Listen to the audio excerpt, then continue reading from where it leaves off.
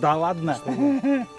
Это руководство, как не надо снимать клип. Я всегда туплю, когда начинаем снимать влог. Короче, привет, ребята, это видеоблог «Профессия фотограф». Вот с этим товарищем и еще с одним видеооператором мы не так давно снимали клип на музыку Lost Without You Энди Джеймса. Из подписчиков ребята меня попросили рассказать схему света, э, что мы там с собой брали, сколько это стоило. Да хрена это стоило. Рассказываю схему света. Наш гитарист, который Руслан, он нафигачил сзади такие две буквы ЗЮ и КО. Там получилось 20 или 21 лампа, по-моему 21 лампа. Короче, посчитайте, вы в клипе посмотрите, посчитайте. Он сделал это все на пенополистироле, купил много-много-много патронов для ламп, ночь или две он сидел. И мы туда вернули 15-ваттная лампа, как оказалось потом, что это было лишку, надо было поменьше. Потом мы купили много-много таких линейных ламп, они, если хотите, продаются в каждом городе, наверное, в каждом строительном магазине. Стоят они от 300 до 600 рублей. На лампы ушло 7 тысяч. Чтобы это все дело повесить, все эти линейные лампы, мы купили ПВХ-трубу. Металлопласт, вот, по-моему, так. Ну, да, так она называется. Вот. вот эту металлопластовую трубу оказалось, что она очень гибкая, мы ее размотали, она провисла. Для того, чтобы ее натянуть, пришлось использовать э, силу видеооператора, который снимал клип. Он таскал камни, мы прижимали стойки к земле. Поржете, посмотрите на фоточках. Для того, чтобы это все питать, мы с собой приволокли бензогенератор. А, дым-машину привезли. Дым-машина китайская с Алиэкспресс. Ссылки в описании.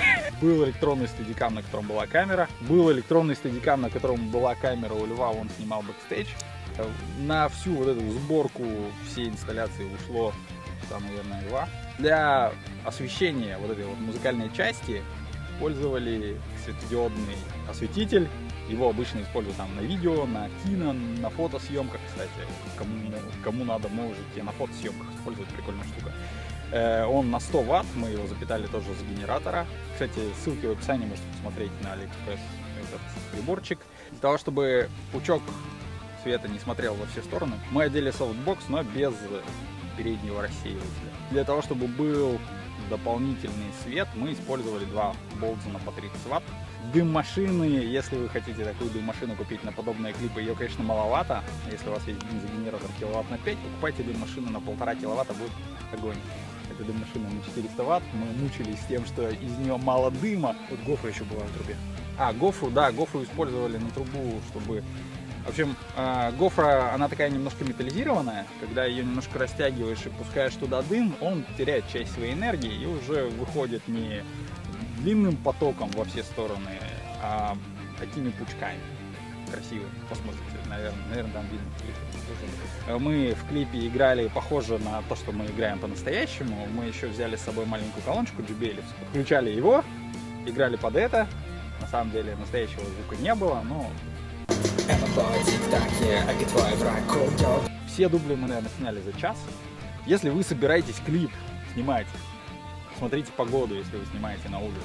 Смотрите, если вы снимаете ночью.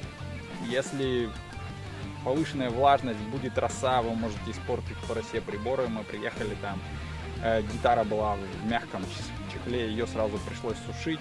Э, там все, что было в сумках, э, не ни, ни вода не защищенных, все было в воде, я там при, привез все это, доставал, все это сушил. Да, еще повышенная насекомость может быть. Повышенная насекомость может быть, да. Кстати, и ночью бывает холодно. Там же ж, э, я-то курточку взял, а некоторые съемки ничего не взяли, ходили в моих курточках. Схему света видно, видно, наверное, будет с фотографий. Фотографии снимала Татьяна, его супруга. Э, бэкстейдж снимал Лев. Э, оператора, который снимал клип, его, к сожалению, сегодня нету. Его зовут Геннадий. Ну, у него точно есть профиль в ВКонтакте. Так что заходите, если вам надо что-нибудь снять с кого-нибудь.